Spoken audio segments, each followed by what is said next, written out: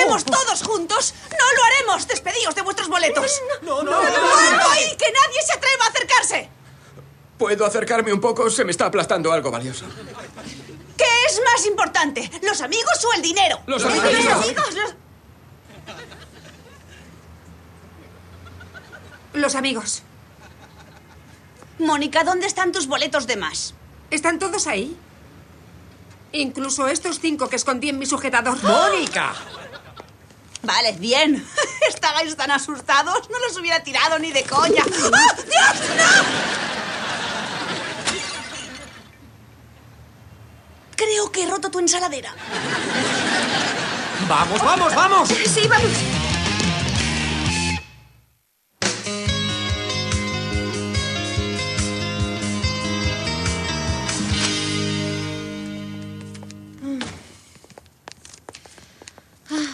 Noche tan agradable para estar corriendo por la calle buscando boletos! Y el viento lo ha hecho más diver. Phoebe, hemos perdido la mitad. ¿Y qué? Mónica, tenemos el boleto ganador. Mi vidente me dijo que voy a ganar, ¿te acuerdas? Es raro que tu vidente no te dijera nada de la paloma diabólica. Pues la verdad es que me dijo que es así como moriré. Así que perdona que esté un poco afectada.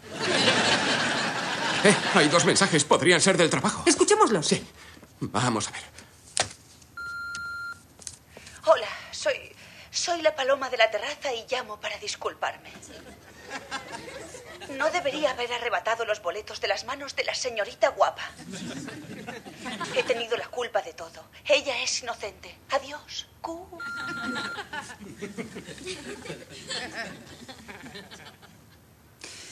Debe de haberle costado mucho hacer eso.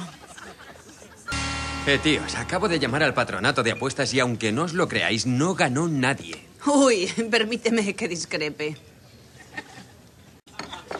Puede que nadie se llevara el bote, pero antes ha venido aquí un tío que se había encontrado un boleto justo ahí enfrente en la calle y ganó 10.000 dólares.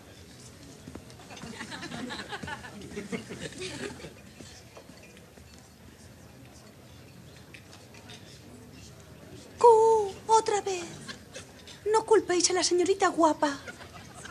No fue culpa suya. Fue mía, de la paloma. Cu. En serio, dejad de mirarla.